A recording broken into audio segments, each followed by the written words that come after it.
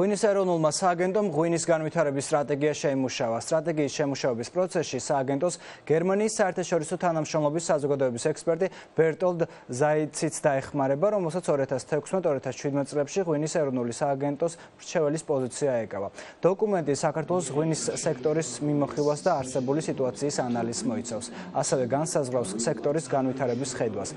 სტრატეგიის მიზანია ქართული ღვინის ხარისხის, მისი ცნობადობისა და კონკურენტუნარიანობის გაზრდის მისთვის ხელსაყრელი გარემოს შექმნა. დოკუმენტი მოიცავს საექსპორტო ბაზრების დივერსიფიკაციას, ადგილობრივი ბაზრისა და მდგრადი მემენახეობის განვითარების, ასევე ღვინის ტურიზმის განვითარების გეგმებს. მოხერხდა ინფორმაციების შეჯერება, but I think I will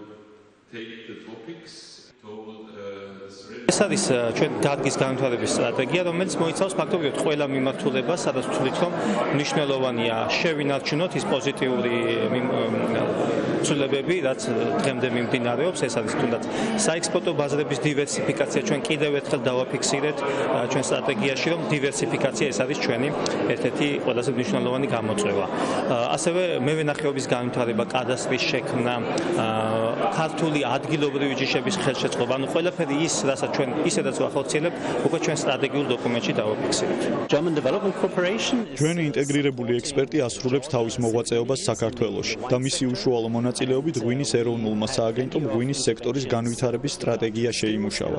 ეს არის უმნიშვნელოვანესი დოკუმენტი, რომელიც მოიცავს ბევრ სხვადასხვა მიმართულებას ღვინის სფეროში. შარშან ექსპორტის მხრივ იყო ბუმი, თუმცა გარკვეული პრობლემებია ხარისხის უზრუნველყოფასთან, ასევე დივერსიფიკაციასთან დაკავშირებით. რომ ევროპის ქვეყნებში კიდევ უფრო გაიზარდოს ქართული ღვინის ექსპორტი. ეს დოკუმენტი სწორედ ამ საკითხების განვითარებას ეხება.